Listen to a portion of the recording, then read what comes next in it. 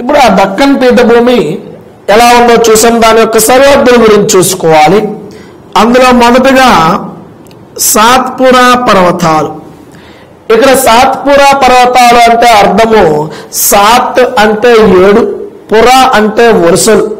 ఏడు వరుసలలో ఉన్న పర్వతాలనే సాత్పురా పర్వతాలు అంటారు.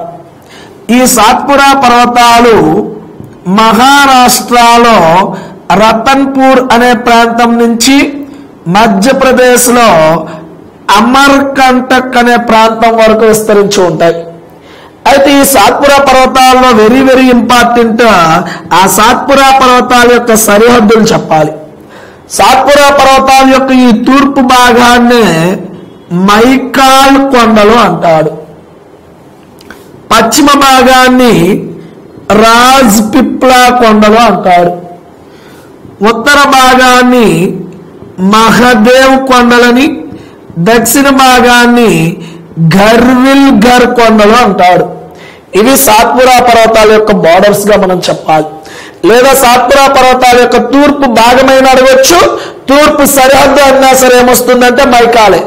పశ్చిమంలో అయితే రాజ్పిప్ల ఉత్తరంలో మహదేవ్ దక్షిణంలో గర్విల్ గర్ అనేవి మనకు ఉంటాయి. ఇకపోతే ఈ సాత్పురా పర్వతాల్లో ఎత్తైన శిఖరం అడిగితే ధూప్ ఘర్ అనే శిఖరం వస్తుంది. పదమూడు వందల యాభై మీటర్లు ఎత్తుంటారు మరి ఈ సాత్పురాలో ప్రముఖ వ్యాసి విడిది ఏది అంటే పంచమరిహి అనేది వస్తుంది. ఇది సాత్పురా పర్వతాలకి. అయితే చూడండి మనం జనరల్గా వింధ్యా సాత్పురా వేస్తాం. బట్ వింధ్యా వేరే సాత్పురా వేరే.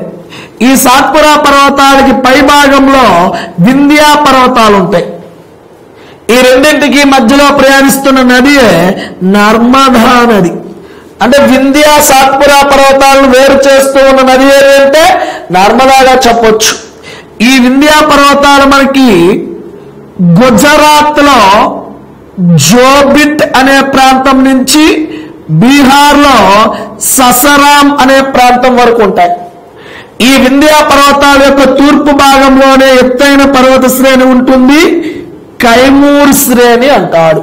ఏమని పిలుస్తాడు దాన్ని? కైమూర్ శ్రేణి అంటాడు. అవి వింధ్యా పర్వతాలకు సంబంధించినవి. అయితే ఇటు పక్క చూద్దాం మనము. పశ్చిమ కనుమలు చూద్దాం. మరి ఈ పశ్చిమ కనుమలు అనేవి ఎక్కడి నుంచి ఎక్కడికి ఉంటాయంటే మహారాష్ట్రలో కాందేశ్ అనే ప్రాంతం నుంచి నీలగిరి పర్వతాల వరకు కూడా విస్తరించినటువంటి పర్వత శ్రేణి ఏది అడిగితే పశ్చిమ కనుమలుగా చెప్పాలి. ఈ పశ్చిమ కనుమలు సుమారుగా పదహారు వందల కిలోమీటర్ల పొడవున పన్నెండు వందల మీటర్ల సగటు ఎత్తులో విస్తరించి ఉన్నాయి. పశ్చిమ తీరం వెంబడి కూడా పశ్చిమ కనుమలు విస్తరించాయి. మరలా ఈ పశ్చిమ కనుమలు అనేవి ఇట్లా వేరువేరు రాష్ట్రాల్లో వేరువేరు శ్రేణులుగా పిలువబడతా ఉన్నాయి. మహారాష్ట్రలోను కర్ణాటకలోను కేరళలోను. మహారాష్ట్రలో పశ్చిమ కనుమలని సహ్యద్రి కొండలు అంటాడు కర్ణాటక వచ్చినప్పటికీ బాబా బుడాన్ కొండలు అంటాడు కేరళలో అన్నామలై శ్రేణి అంటారు. ఇవి పశ్చిమ కనుమల్లో భాగాలు అంటే ఇప్పుడు పశ్చిమ కనుమల్ని మహారాష్ట్రలో సహ్యద్రి అని కర్ణాటకలో బాబా బుడాన్ అని అన్నామలై కొండలని చెప్పి కేరళలో పిలవడం జరుగుతాయి ఈ సహ్యాద్రి కొండల్లో ఎత్తైన శిఖరం ఏది అడిగితే కల్సూబాయి శిఖరం వస్తుంది. అది ఓన్లీ సహ్యాద్రి శ్రేణిలో మాత్రమే తీసుకుంటే. అదే బాబా బుడాన్లో తీసుకు ములంగీర్ శిఖరాలు ఉంటాయి ఎత్తైన శిఖరాలు. మరి అన్నామలైలు ఎత్తైనది ఏమిటి అంటే అన్నయ్య ముడివి శిఖరము రెండు వేల ఆరు వందల తొంభై ఐదు metre. Very very very important ఇది.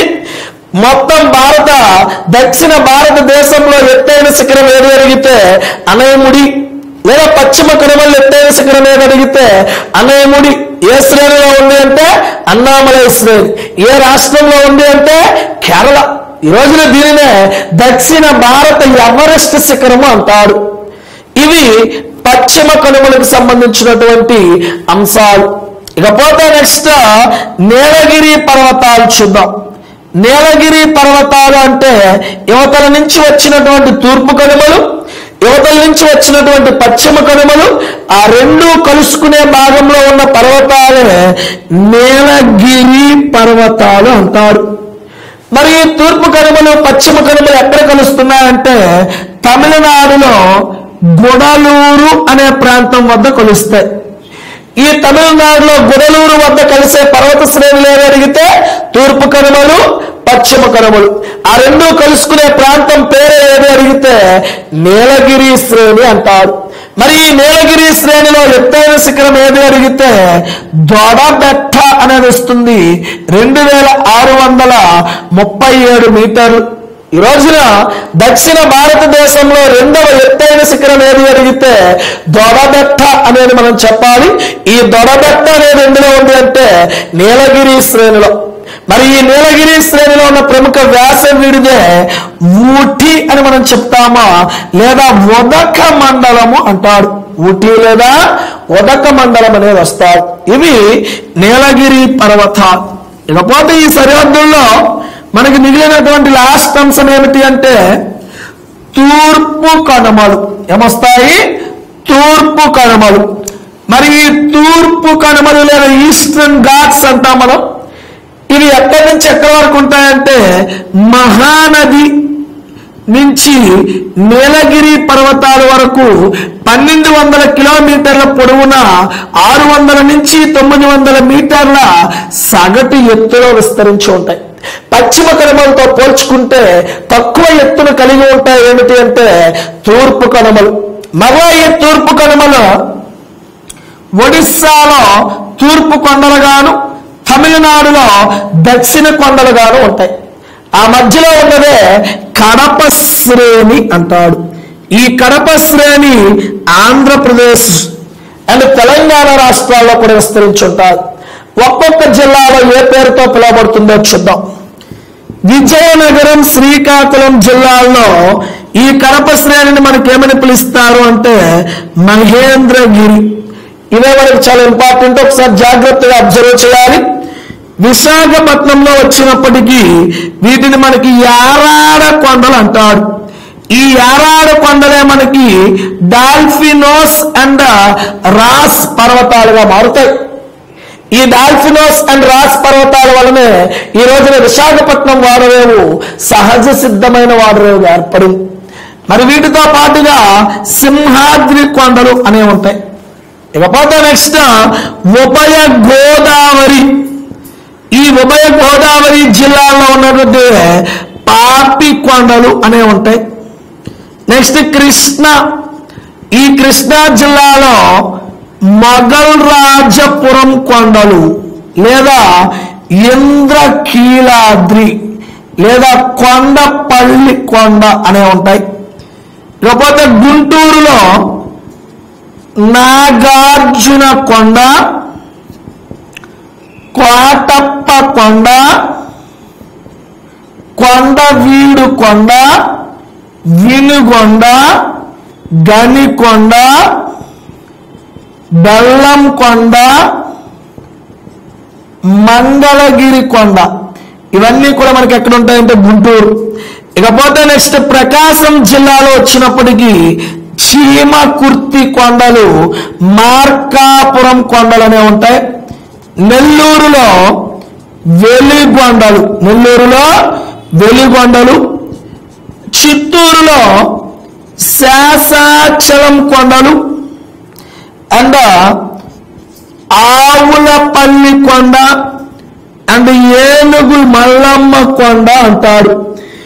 ఇకపోతే నెక్స్ట్ కర్నూలులో నల్లమల కొండలు ఉంటాయి. కడపలో వెంకటాద్రి కొండలు. కడపలో వెంకటాద్రి కొండలు లేదా పాలకొండలు అంటారు. అనంతపురంలో మడకసిరి గుట్టలు.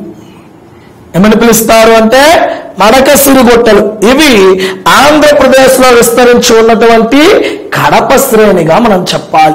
ఇందులో అది ఏదో కొండ తీసుకొస్తారు. అది ఏ జిల్లాలో ఉండరుగుతారు మరి ఇదే కాకుండా ఈ కడప శ్రేణి ఆంధ్రప్రదేశ్లో కాకుండా తెలంగాణ అభ్యర్థులు గాని చదివితే మరి తెలంగాణలో కూడా విస్తరించి ఉంటాయి. తెలంగాణలో మహబూబ్ నగర్లో మనకేమని పిలుస్తాదంటే నల్లమల కొండలే లేదా సాభాట్ గుట్టలు అంటారు. అదే మీకు నల్గొండలో అయితే యాదగిరి గుట్టలు.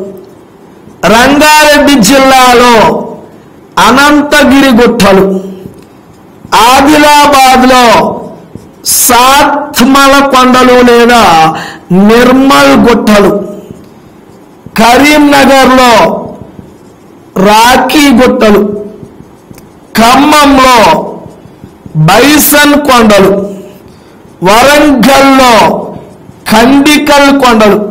యాక్చువల్గా కరీంనగర్కి వరంగల్కి బార్డర్లో ఉంటాయి ఈ ఖండికల్ కొండలు.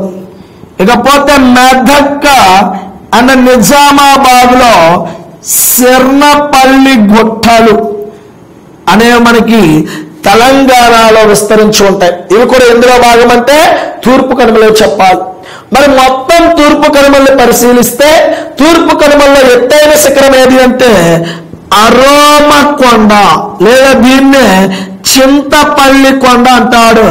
విశాఖపట్నము పదహారు వందల ఎనభై మీటర్లు ఎత్తుంటారు ఒకవేళ ఇవ్వకపోతే అప్పుడు మనం పెట్టవలసింది మహేంద్రగిరి అని ఇస్తాడు. అది పదిహేను వందల ఒక్క మీటరు ఒడిస్సాలో ఉంటారు ఇవి దక్కన్ పీఠభూమికి ఉన్నటువంటి మొత్తం సరిహద్దులుగా మనం చెప్పాలి. ఇకపోతే ఈ నైసర్గిక స్వరూపంలో మిగిలిపోయినటువంటి లాస్ట్ అంశము ఆరవ అంశం ఏమిటి అంటే దీవులు. మరి దీవి అంటే ఏమిటి? నాలుగు వైపులా కూడా మనకి నీరు ఉండి ఒకవైపు కూడా భూభాగం లేకుండా మధ్యలోనే భూభాగం ఉంటే అటువంటి నిర్మాణాన్ని ఏమంటాము అంటే దీవి అంటాడు మరి ఈ దీవుల యొక్క సమూహాన్ని ఏమని పిలుస్తారు అంటే ఆర్చిపెలాఘో. ఏమని పిలుస్తారు? ఆర్చిపెలాఘో. ప్రపంచంలోనే అతి పెద్ద ఆర్చిపెలాగో ఏది అంటే ఇండోనేషియా అనేది వస్తుంది. ప్రపంచంలో అతి పెద్ద దీవి ఏది అడిగితే గ్రీన్లాండ్ దీవి అనేది మనకు వస్తుంది. మరి ఇండియాలో చూస్తే మొత్తం దీవులు రెండు వందల నలభై ఏడు దీవులు ఉంటాయి. వీటిలో రెండు వందల నాలుగు దీవులు మనకి అండమాన్ నికోబార్ దీవులుగా బంగాళాఖాతంలో విస్తరించి ఉన్నాయి. ఆ మిగిలినవి అరేబియాలో కానీ మన్నార్ సింధు శాఖలో కానీ ఉంటాయి. భారతదేశంలో ఉన్న దీవుల్ని ప్రధానంగా అండమాన్ నికోబార్. ఈ అండమాన్ నికోబార్ అండ్ లక్ష దీవులుగా మనకి చెప్తా ఉంటారు. మరి ఈ లక్ష దీవులు అనేవి అరేబియా సముద్రంలో మనకు కనిపిస్తూ ఉంటాయి. ఇవి ఎనిమిది డిగ్రీల ఉత్తర నుంచి పదకొండు డిగ్రీల ఉత్తర అక్షాంశాల మధ్యలో విస్తరించి ఉంటాయి మొత్తం లక్ష దీవుల సంఖ్య ముప్పై ఆరు దీవులు ఉంటాయి. ఈ లక్షద్వీపుల యొక్క మొత్తం విస్తీర్ణం చూస్తే ముప్పై రెండు చదరపు కిలోమీటర్ల విస్తీర్ణాన్ని కలిగి ఉంటాయి. ఈ రోజున భారతదేశంలో అతి చిన్న కేంద్ర పాలిత ప్రాంతం ఏది అంటే అది లక్షదీవులుగా మనం చెప్పొచ్చు. ఓకేనా? అయితే ఈ లక్షదీవులు ఏ విధంగా ఏర్పడ్డాయి? అంటే లక్షదీవులని ప్రమాణ భిత్తికలు లేదా క్వారల్స్ అని పిలువబడుతుంది. అంటే చనిపోయే జంతు వృక్షాల యొక్క కలేబరాలు సముద్రాల మీద పేరుకుపోయి అవి మనకి దీవులుగా మారితే ఏర్పడిన దీవులు ఏమిటి అంటే లక్ష దీవులనే చెప్తాం మరి ఈ లక్ష దీవుల యొక్క రాజధాని ఏది అంటే కవరత్తి అనేది వస్తుంది. అయితే ఈ లక్ష దీవులలో మనకి పదకొండు డిగ్రీలు దీని కింద మనకి పది డిగ్రీలు అనేది ఉంటుంది ఈ పది డిగ్రీలకి లేదా పదకొండు డిగ్రీలకి కొంచెం ఉత్తరంగా ఉన్న దీవులని అమీన్ దీవులని దక్షిణంగా ఉన్న దీవులని కన్ననూర్ దీవులు అనేది అని చెప్తాడు మరి ఈ లక్ష దీవుల్లోనే ఎయిట్ డిగ్రీ ఛానల్ అనేది ఉంటాడు ఈ ఎయిట్ డిగ్రీ ఛానల్ అనేది లక్ష దీవుల్లో చివరి భాగం. మినికాయ దీవికి ఆ కిందన ఉన్న దేశము? మాల్దీవులకి మధ్యలో జల సరిహద్దుగా ఉంటారు ఈరోజు ఇండియాకి మాల్దీవులకి మధ్యలో సరిహద్దు ఏది అంటే ఎయిట్ డిగ్రీ ఛానల్గా చెప్తారు. ఇవి లక్షద్వీపులకు సంబంధించి. ఇకపోతే అండమాన్ నికోబార్ ఆరు డిగ్రీల నలభై ఐదు నిమిషాల ఉత్తరం నుంచి పద్నాలుగు డిగ్రీల ఉత్తర అక్షాంశాల వరకు ఉంటాయి. మొత్తంగా మనకి ఎనిమిది వేల రెండు వందల నలభై ఎనిమిది సారీనన్నా? నలభై తొమ్మిది చదరపు కిలోమీటర్ల విస్తీర్ణాన్ని కలిగి ఉంటాయి. అయితే ఈ అండమాన్ నికోబార్ దీవులు అనేవి ఎట్లా వచ్చాయి? అంటే ఈ అండమాన్ నికోబార్ దీవులు అనేవి అరకానియోమా పర్వతాలు. ఈ అరకానియోమా పర్వతాలు అనేవి పూర్వాంచల్ పర్వతాలు సముద్రంలో ఉద్భావనం చెందితేనే మనకి ఏర్పడిన దీవులు ఏవి అడిగితే అండమాన్ నికోబార్ దీవులనే చెప్పాలి. మరి అండమాన్ నికోబార్ దీవుల యొక్క రాజధాని ఏది అడిగితే పోర్ట్ బ్లేయర్ అనేది వస్తుంది. ఏమొస్తుంది పోర్ట్ బ్లేయర్ అనేది వస్తారు మరి అండమాన్ నికోబార్లో రెండు అగ్ని పర్వతాలు ఏర్పడ్డాయి. లేదా రెండు అగ్ని పర్వత దీవులనే ఉంటాయి? అవే మనకి బారెన్ అండ్ నార్కొండం అనేది చెప్తా ఉంటారు. ఇవి మొత్తం భారతదేశంలో ఉన్నటువంటి దీవులకి సంబంధించినటువంటి అంశాలు. ఎస్జిటిలో దీని గురించి మనకి ఇదివరకు అయితే సరిపోతుంది. జనరల్ స్టడీస్లో అయితే కాస్త ఇంకా డెప్తగానే ఉంటాయి ఈ దీవుల గురించి. బట్ ఎస్జిటి స్థాయిలో ఈ అండమాన్ నికోబార్ దేని వల్ల ఏర్పడ్డాయంటే పర్వతాల వల్ల ఏర్పడ్డాయని చెప్పాలి. లక్ష దీవులు దేని వల్ల ఏర్పడ్డాయంటే ప్రవాళ బుత్తికుల చేత ఏర్పడ్డాయి. అండమాన్ నికోబార్ యొక్క రాజధాని పోర్ట్ బ్లేయర్ అండ్ లక్షద్వీపుల యొక్క రాజధాని కవరత్తి అనేది మనం చెప్తా ఉంటాం. ఇది ఎంటైర్ భారతదేశం యొక్క నైసర్గిక స్వరూపం. మన ఐదో అంశము తీర మైదానం విడిచిపెట్టాం. ఆ తీర మైదానం ఆల్రెడీ ఉనికిలో చెప్పాం. మొత్తం తీరం ఎంత ఉంది ఏ ఏ రాష్ట్రాల్లో తీరాన్ని ఏమని పిలుస్తారో చూసాం అక్కడ గుజరాత్లో కాంగ్లా లేదా కతియావాడ్ తీరమని మహారాష్ట్ర గోవాలో కొంకన్ తీరమని కర్ణాటకలో కెనరా తీరమని కేరళలో మలబారు తీరము తమిళనాడులో కోరమండల్ తీరము ఆంధ్రప్రదేశ్లో సర్కార్ లేదా కోస్తా తీరము ఒడిస్సాలో ఉత్కల తీరము అండ్ వెస్ట్ బెంగాల్లో వంగ తీరం. అదే మనకి తీర మైదానం కింద వస్తుంది కాబట్టి దాన్ని విస్మరించాం. ఇకపోతే లాస్ట్ అంశం ఈ దీవులు. ఇది మొత్తం భారతదేశం యొక్క నైసర్గిక నిర్మాణము.